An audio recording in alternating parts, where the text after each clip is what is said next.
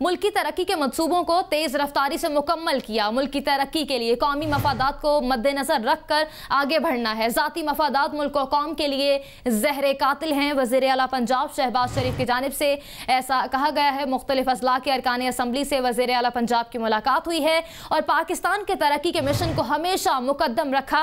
वज़ीर अला पंजाब की जानब से कहा गया है कि मुल्क की तरक्की के मनसूबों को तेज रफ्तारी से मुकम्मल किया। मुल्क की तरक्की के लिए कौमी मफादात को मद्देनजर रख कर आगे बढ़ना है। ज़ाती मफादात मुल्क कौम के लिए जहर कातिल हैं।